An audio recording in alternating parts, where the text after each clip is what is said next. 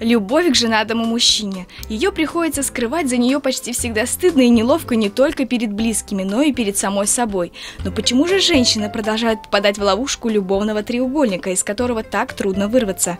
Психолог Лилия Габдулхакова уверяет, что корни идут из семьи. Дети, у которых не было перед глазами положительного примера родителей, подсознательно боятся семейной жизни и завидной регулярностью выбирают партнеров, не готовых к семейным отношениям.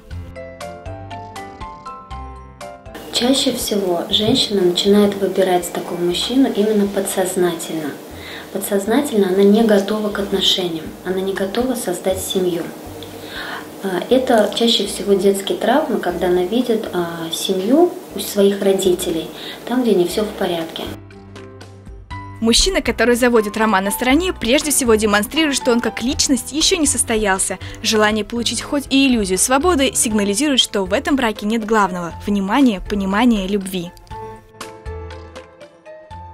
Мужчина, допустим, в момент, когда он женился, а, создал семью, он был не готов, он не нагулялся.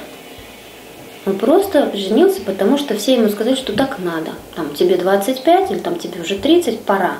Но у него внутреннее состояние еще 18-летнего подростка, и он еще не нагулялся, ему охота вот этой вот а, энергии, движения, такого вот бурного, да, но в семейной жизни этого не будет, это будет все равно потихо-потихо как бы уменьшаться. И в таком случае, даже если жена будет все давать, мужчина будет тянуться к любовнице не потому, что там что-то здесь плохо, а потому что он еще ребенок в своем подсознании, да, действительно, он еще подросток, которому охота потусить. По статистике, почти 80% людей когда-либо находились в любовном треугольнике. И хотя кажется, что выбраться из него невозможно, безвыходных ситуаций не бывает. Первый шаг – признаться самому себе в бесперспективности этих отношений и начать новую жизнь. Ведь, как известно, на чужом несчастье счастье не построишь.